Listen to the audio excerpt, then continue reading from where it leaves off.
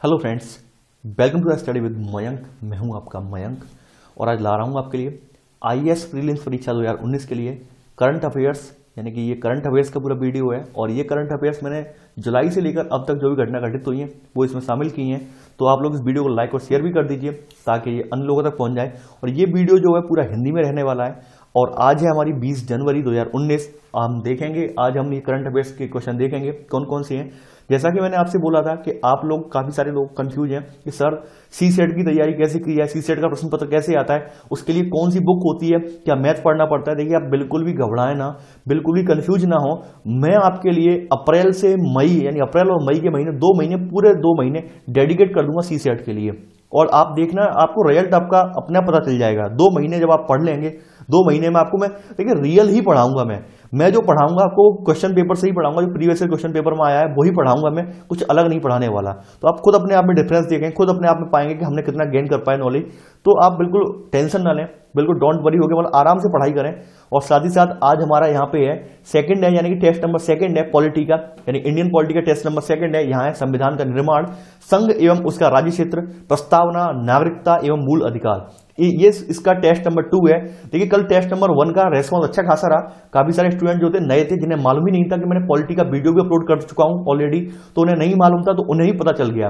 तो देखिए पॉलिटी के जो वीडियो थे, मैंने लगभग आठ महीने पहले ही बना के डाल दिए थे। तब उस टाइम पे जो थे, मुश्किल से पचास या सौ लोग थे, मुश्किल से, चैनल पे जुड़े ही जुड़े थे, उनमें से मुश्किल से दस या बारह लोग देखते थे वीडियो।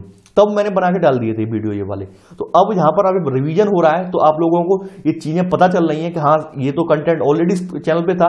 तो आपको कहीं ना कहीं पढ़ने पढ़ने में कुछ लोगों को बहुत अच्छी प्रतिक्रियाएँ भी आई हैं कि कुछ लोगों ने कहा, सर, ये तो हमारे लिए बहुत सौभाग्य की बात है कि हम आपसे जुड़ पाए। देखिए, ऐसा कुछ भी नहीं है। ये एक मान लीजिए, ये मान लीजिए कि मेरा एक लगाव है आपके प्रति, आपके चैनल के प्रति लगाव है, जिसकी वजह से मैं वीडियो लेके आ रहा हूँ। यहाँ पे मैं कोई अपना मेरा कोई प्रोविस मतलब कोई फ़ायदा मैं नहीं देखता हूँ, फ़ायदा नुकसान नहीं देखता हूँ। बस मैं ये चाहता हूँ कि आप सभी लोग सही डायरेक्शन में पढ़ाई करें और सही डायरेक्शन में पढ़ाई करके आप अपनी जॉब प्राप्त करें। तो यहाँ पे टेस्ट नंबर टू है। इसका लिंक भी मैंने डिस्क्रिप्शन में दे दिया है। तो वहाँ पर जाकर आप इस लिंक से ज़रिए इस वीडियो को एक्सेस कर सकते हैं। तो चलिए स्टार्ट करते हैं आज का करंट अफेयर्स देखिए, आज यहाँ पे क्वेश्चन नंबर वन है। निम्नलिखित कथनों पर विचार कीजिए। यहाँ पर बताइए, कौन से कथन जो हैं, वो सही हैं? पहला है यहाँ पे, छत्तीसगढ़ सरकार भितरकणिका में, यानी छत्तीसगढ़ सरकार भितरकणिका में एक विश्व स्तरीय जैव विविधता प्रदर्शन केंद्र स्थापित करने जा रही है। देखिए, पहला वाला कथन जो है वो गलत है। पहली बात तो भितरकर्ण का जो उद्यान है, भितरकर्ण का जो उद्यान है, वो छत्तीसगढ़ में नहीं है, बल्कि उड़ीसा में है। तो उड़ीसा सरकार भितरकड़का में दंगमाल के निकट एक विश्व स्तरीय जैव विविधता प्रदर्शन केंद्र स्थापित करने जा रही है। यानी भितरकड़ का जो उद्यान है, वो उड़ीसा में पड़ता है, ना कि यह छत्तीसगढ़ में है। तो पहला वाला कथन गलत है। सेकंड है, इस जैव विविधता प्रदर्शन केंद्र द्वारा मगरमच्छों के संरक्षण और समृद्ध जैव विविधता की रक्षा हेतु किए गए प्रयासों को दिखाया जाएगा। देखिए सेकंड वाला कथन बिल्कुल सही है कि इस माध्यम से क्या करेगा? इस माध्यम से ओडिशा सरकार जो है, वो मगरमच्छों के संरक्षण और समृद्ध जैव विविधता की रक्षा हेतु किए गए प्रयासों को यहाँ पर दिखाएगा। ठीक है तो सेकंड वाला ऑप्शन यहाँ सही है। थर्ड है इस परियोजना को एकीकृत तटीय क्षेत्र प्रबंधन परियोजना के तहत अनुमोदित किया गया है। देखिए इस परियोजना को जो अनुमोदित किया गया है, वो एकीकृत तटीय क्षेत्र प्रबंधन के तहत किया गया है, जिसकी अनुमानित लागत जो है तीन करोड़ रुपए यानी तीन करोड़ रुपए लागत की परियोजना है ये वाली, ठीक है? और यह परियोजना जो है, यहाँ तीसरा वाला ऑप्शन भी सही है। यह परियोजना जो है, पर्यटकों को आकर्षित करने के साथ साथ विद्यार्थियों के लिए पर्यावरण अध्ययन केंद्र के रूप में भी होगी। और भितरगढ़ का राज्य के एक बेहतरीन जैव विविधता हॉटस्पॉट में से एक है, जहाँ लगभग एक लाख पर्यटक जो है प्रतिवर्ष आते हैं और हाल ही में यहाँ पर जो आने वाले जो है पर्यटकों की संख्या में बढ़ोतरी देखने को मिली है, ठीक है? तो ये उड़ीसा में पड़ता है भितरकड़ का तो यहाँ पे सेकंड यानी सी वाला ऑप्शन सही है तो यहाँ आंसर है सी यानी केवल दो और तीन। क्वेश्चन नंबर टू है आपका, रेल मंत्रालय की डिजिटल स्क्रीन सेवा के संदर्भ में निम्नलिखित कथनों पर विचार कीजिए, यहाँ पर बताना है कौन से कथन जो है, वो सही नहीं है। यानी कि यहाँ पर यह बताना है कौन से कथन सही नहीं है। पहला है, भारतीय रेल के गौरवशाली अतीत के लोगों को रूबरू कराने के लिए देश के 20 रेलवे स्टेशनों पर डिजिटल स्क्रीन का संचालन शुरू किया गया है। देखिए, पहला वाला कथन जो है, वो गलत है। रेल रेलवे मंत्रालय ने भारतीय रेल के गौरवशाली अतीत से लोगों को रूबरू कराने के लिए देश के 20 रेलवे स्टेशनों पर नहीं, बल्कि 22 रेलवे स्टेशनों पर, यानी 22 रेलवे स्टेशनों पर जो है डिजिटल स्क्रीन का संचालन किया है। ठीक है? यानी कि देश के 22 स्टेशनों पर डिजिटल स्क्रीन लगाई गई है और ये स्वतंत्रता दिवस के अवसर पर ये स्क्रीन स्थापित की गई है। ठीक है? तो पहला वाला कथन गलत है। सेकंड है, यह पहल रेलवे स्टेशनों पर क्विक रेस्पॉन्स, यानी क्यू आर, कोड आधारित डिजिटल संग्रहालय बनाए जाने के प्रधानमंत्री के विजन पर आधारित है।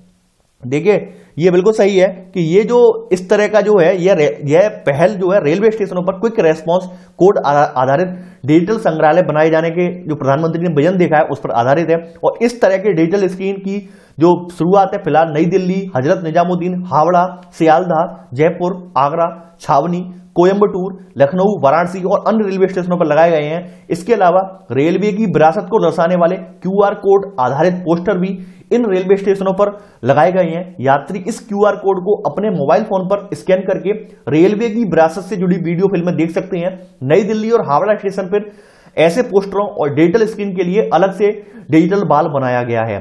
अगर हालाँकि बात कर लें, अन्य स्टेशनों पर रेलवे ने ऐसे स्क्रीन और पोस्टरों के लिए के लिए पहले से मौजूद स्थानों का ही इस्तेमाल किया है। इसके लिए अलग से कोई खर्च नहीं किया गया है। ठीक है? तो ये भी आप याद रखिए। देखिए, यहाँ पे सेकंड वाला ऑप्शन सही है। पहला वाला ऑप्शन गलत है, लेकिन पूछा गया है, कौन सा कथन सही नहीं है? केवल पहला वाला कथन जो है, वो सही नहीं है तो आंसर है ए केवल एक कथन सही नहीं है। क्वेश्चन नंबर थर्ड है, हाल ही में किस स्थान पर भारत के पहले राष्ट्रीय वन्यजीव आनुवांशिक संसाधन बैंक का उद्घाटन किया गया? देखिए, हाल ही में राष्ट्रीय वन्यजीव आनुवांशिक संसाधन बैंक का उद्घाटन हैदराबाद, तेलंगाना में सेलुलर मॉलिकुलर बायोलॉजी यानी सीसीएमबी प्रयोगशाला के द्वारा सीसीएमबी प्रयोगशाला के द्वारा किया किया गया स्थापित ये। ठीक है? सीसीएमबी प्रयोगशाला के केंद्र में इसे स्थापित किया गया है। कहाँ पे किया गया है? हैदराबाद में। ठीक है? तो यह आंसर है डी और यह भारत का पहला आनुवांशिक संसाधन बैंक है, जहाँ आनुवांशिक सामग्री को भावी पीढ़ी के लिए संग्रहित किया जाएगा। और इसका उद्देश्य जो है, वो, इसका मुख्य उद्देश्य जो है, लुप्त प्राय और संरक्षित किए जाने वाले जानवरों का, को संरक्षण प्रदान करना है। यहाँ पर ऊतक, शुक्राणु, अंडे और भ्रूण आनुवांशिक सामग्री जैसे डीएनए, आरएनए का व्यवस्थित संग्रह और संरक्षण रहेगा यहाँ पर। और यह बैंक आनुवांशिक संसाधनों को संरक्षित करने के लिए अत्याधुनिक उपकरणों से लैस भी है, जिसका प्रयोग पशु प्रजातियों के विलुप्त के मामले में उनके पुनरुत्थान, यानी फिर से फिर से उन्हें रीजनरेट करने के भी किया जाएगा। ठीक है? तो यहाँ पर क्वेश्चन नंबर तीन का आंसर है डी। क्वेश्चन नंबर फोर है आपका। अमेरिका ने वर्ष 2020 तक अमेरिकी अंतरिक्ष बल का निर्माण करने की घोषणा की है। देखिए, ये बहुत इंपॉर्टेंट है। ये कहीं पूछा जाएगा क्वेश्चन आपसे कि किस देश ने अंतरिक्ष बल, यानी स्पेस फोर्स अब तक आपने सुने होंगे, यानी थल सेना, जल सेना वायुसेना इसके बारे में सुना है, लेकिन एक अमेरिका एक ऐसा देश है, इसने अपनी अंतरिक्ष सेना, यानी कि अंतरिक्ष सेना के बारे का निर्माण करने की भी योजना बना रखी है और इस इस सेना का निर्माण जो है 2020 तक कर लिया जाएगा। ये अमेरिका ने घोषणा की है। यानी अमेरिका ने 2020 तक स्पेस फोर्स, यानी अंतरिक्ष बल का निर्माण करने की घोषणा की है। जैसे आपने मूवियाँ देखी होंगी, तमाम मूवियाँ देख चुके हैं। स्टार वार सीरीज़ जो है हॉलीवुड की, वो पूरी इसी पे डिपेंड है। यानी स्टार वार सीरीज़ है। और भी काफ़ी सारी सीरीज़ है, जैसे मार्वल यूनिवर्स की मूवीज़ है।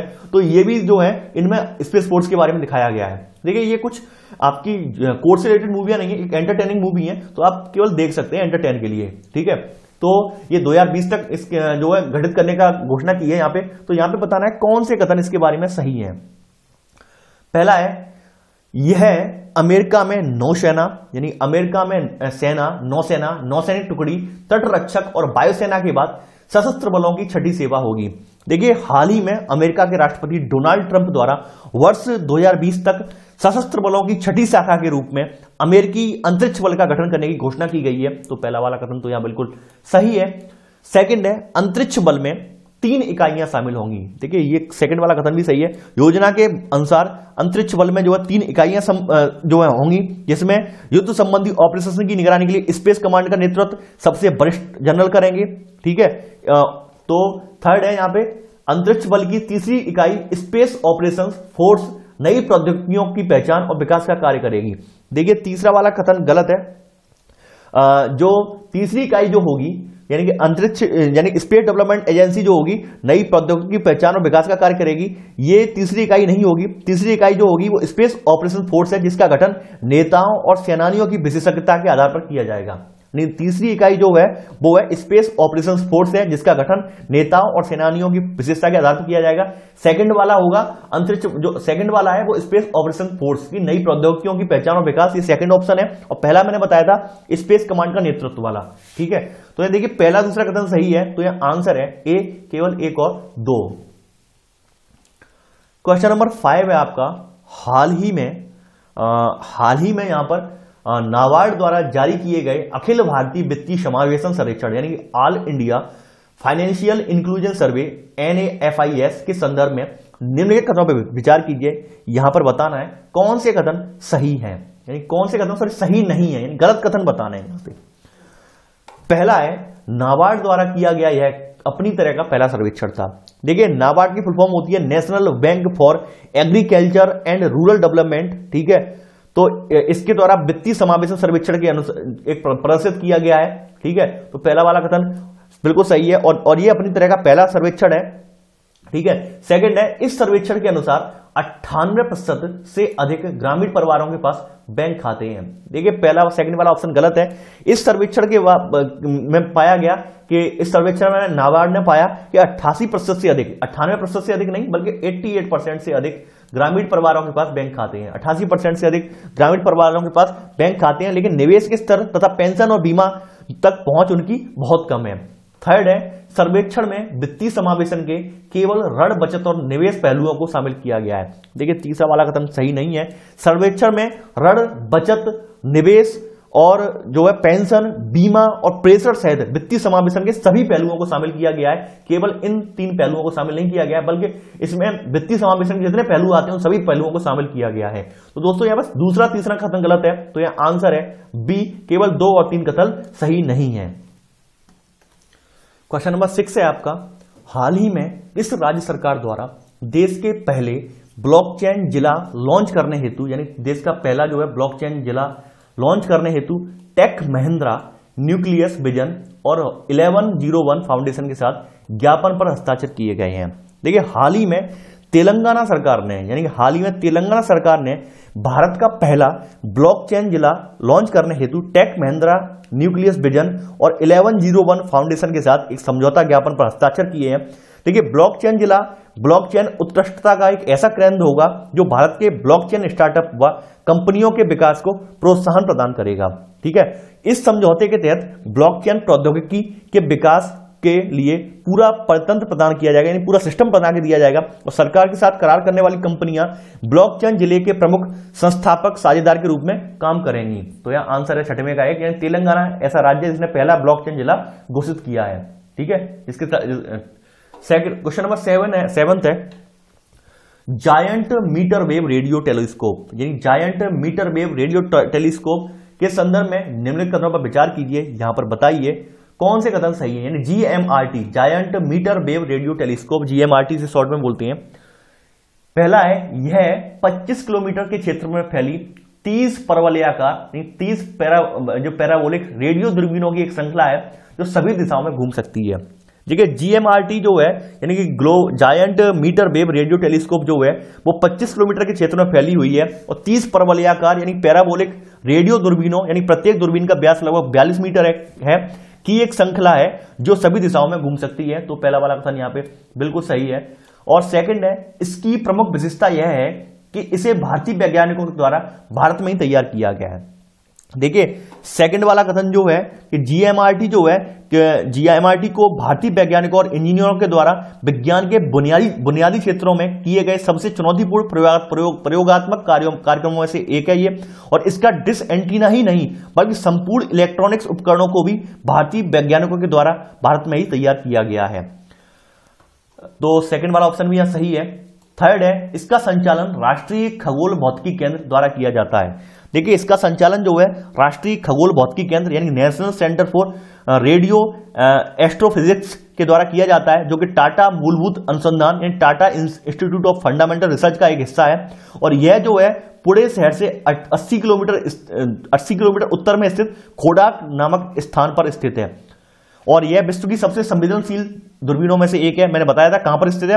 ये जो है, पुणे शहर से 80 किलोमीटर उत्तर में स्थित कोडार्ड नामक स्थान पर यह स्थित है। कोडार्ड नामक जगह पर ये दूरबीन मतलब जीएमआरटी दूरबीन स्थापित की गई है ये। तो तीसरा वाला कथन यहाँ भी सही है। तो तीनों ही कथन सही है तो यह आंसर है डी, यानी एक, दो और तीन। क्वेश्चन नंबर एट है आपका। निम्नलिखित कथनों पर विचार कीजिए। यहाँ पर बताइए कौन से कथन सही है। पहला है नाइट्रोजन सबसे प्रचुर मात्रा में उपलब्ध है, किंतु यह 99 परसेंट से अधिक आणविक नाइट्रोजन या नाइट्रो एन टू के रूप में होता है, जिसका उपयोग ज़्यादातर जीवों द्वारा नहीं किया जा सकता।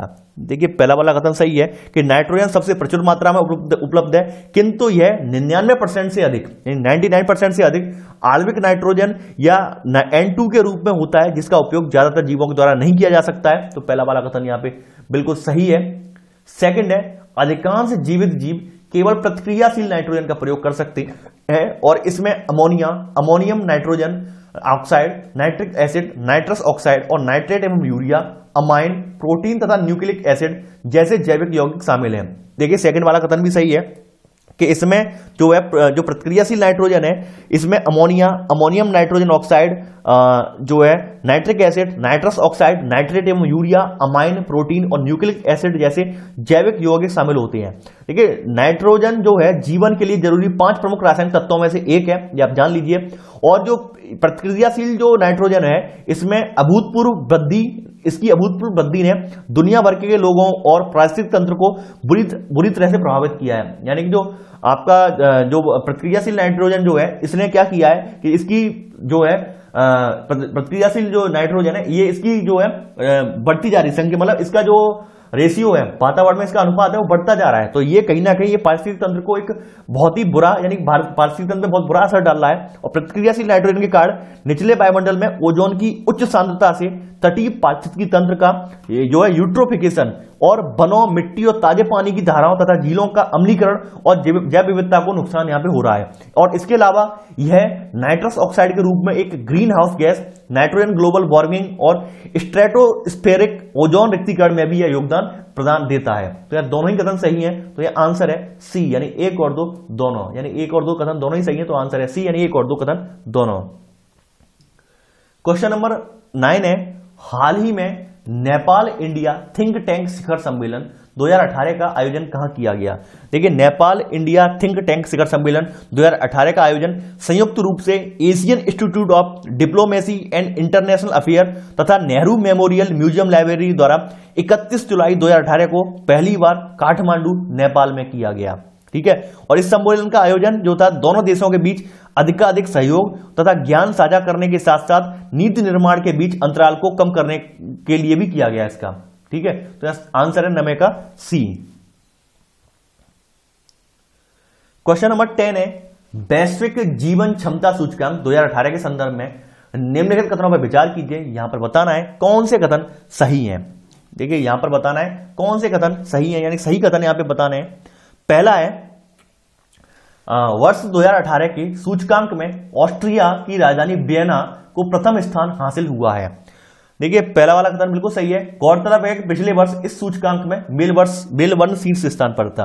देखिए, वर्ष 2018 में सूचकांक में जो ऑस्ट्रिया की राजधानी बियना है, इसे प्रथम स्थान हासिल हुआ है लेकिन लास्ट बार जो स्थान था, वो मेलबर्न था, शीर्ष पर शीर्ष पर यहाँ पे। तो पहला वाला कथन बिल्कुल सही है। सेकेंड है, इस सूचकांक को वर्ल्ड बैंक द्वारा जारी किया जाता है। ठीक है सेकंड वाला कथन गलत है, जो वैश्विक जीवन क्षमता सूचकांक है तो ये जो सूचकांक है इकोनॉमिक इंटेलिजेंस यूनिट के द्वारा जारी किया जाता है। यानी ये सूचकांक इकोनॉमिक इंटेलिजेंस यूनिट के द्वारा जारी किया जाता है, ठीक है? तो ये सेकंड वाला कथन गलत है। इस सूचकांक में भारत की राजधानी दिल्ली को एक सौ और मुंबई को एक स्थान प्राप्त हुआ है। ठीक है ये भी याद रखिए। इस सूची में भारत की राजधानी दिल्ली को कितना स्थान प्राप्त हुआ है? एक सौ और मुंबई को एक सौ स्थान प्राप्त हुआ है। अच्छा आ, मैंने कल एक बताया था एक आ, जो है ईज ऑफ़ लिविंग इंडेक्स में मुंबई का कितना स्थान सॉरी दिल्ली को कितना स्थान प्राप्त हुआ? ईज ऑफ़ लिविंग इंडेक्स में। यानी भारत के द्वारा ईज ऑफ़ लिविंग इंडेक्स निकाला गया है इसमें कितना स्थान जो है प्राप्त हुआ है दिल्ली को? ये कमेंट में आपको बताना है ठीक है? और सूचकांक के 10 शीर्ष शहर जो है शीर्ष शहर जो है, वो Vienna Melbourne Osaka, Calgary, Sydney Vancouver Tokyo, Toronto, Copenhagen और एडिलेड है, ठीक है? और सीरिया की राजधानी जो दमसिक, दमिश्क है, इस वर्ष भी सूचकांक में सबसे नीचे है, जबकि बांग्लादेश की राजधानी ढाका को नीचे से दूसरे स्थान पर और कराची जो है, यानी पाकिस्तान की राजधानी जो है, पाकिस्तान का कराची है, वो चौथा सबसे खराब शहर माना गया है, ठीक है? नीचे से। तो यहाँ पे पहला तीसरा कथन सही है तो यहाँ आंसर है सी यानी कि सॉरी यहाँ आंसर है बी केवल एक और तीन। देखिए यहाँ पे आपको कमेंट में मैंने पूछा ईज और ब्रिविंग इंडेक्स में दिल्ली को कितना स्थान प्राप्त हुआ है? मैं, मैंने कल ही बताया है आपको। ये कमेंट में आपको ज़रूर बताना है ठीक है? तो दोस्तों आज का हमारा रिविजन का पोर्सन है। भारतीय संविधान एवं राज्य व्यवस्था के अंतर्गत संविधान का निर्माण, संघ एवं उसका राज्य क्षेत्र, प्रस्तावना, नागरिकता एवं मूल अधिकार। देखिए, ये जो वीडियो है, यानी पॉलिटी के मैंने सारी वीडियो जो बनाए हैं, वो एम लक्ष्मीकांत, यानी कि पॉलिटी की जिसे पॉलिटी की गीता, बाइबल, कुरान, जो भी मान लें जो भी कहा जाता हो अपने अपने धर्म ग्रंथों में, ठीक उसी प्रकार से पॉलिटी के लिए यही बोली जाती है यूपीएससी के अंतर्गत। यानी आपका ये धर्म ग्रंथ है, पॉलिटी एक तरह से। इसे अगर आपने एम लक्ष्मीकांत की किताब को नहीं पढ़ा तो यकीन मानिए आप यूपीएससी कभी नहीं निकाल पाएँगे, ठीक है? तो इस वीडियो को कभी मिस ना सेकंड वाले वीडियो को। इसका लिंक मैं डिस्क्रिप्शन बॉक्स में दे दूँगा नीचे। तो आप इस वीडियो लिंक पर जाएँ और वीडियो को पूरा देखें और अपनी प्रतिक्रियाएँ इस पर दें। आपने इसमें कितना सीखा? आप, कितनी आपकी नॉलेज पहले से थी? आपका कितना परिमार्जन हुआ नॉलेज में? ये सब आप कमेंट में मुझे बताएँ, ठीक है? तो आज हमारा यहाँ पे संविधान, यहाँ पे सेकंड वीडियो है टेस्ट स्क्रू यानी पॉलिटी के अंतर्गत। तो इस वीडियो को पूरा देखें। तो दोस्तों, आज के लिए बस नहीं वीडियो अगर पसंद आए तो लाइक कीजिए, ना पसंद आए डिसलाइक कीजिए डिसलाइक क्यों किया है कमेंट ऑप्शन ज़रूर बताइए। साथ ही साथ आप वीडियो को शेयर भी करते रहिए। देखिए, मैं आप लोगों से यही रिक्वेस्ट करता हूँ कि ज़्यादा से ज़्यादा लोगों तक वीडियो पहुंचाइए, जिससे कि ज़्यादा से ज़्यादा लोग इस वीडियो से लाभान्वित हो। तो आज के लिए बस नहीं थैंक्स फॉर वॉचिंग जय हिंद।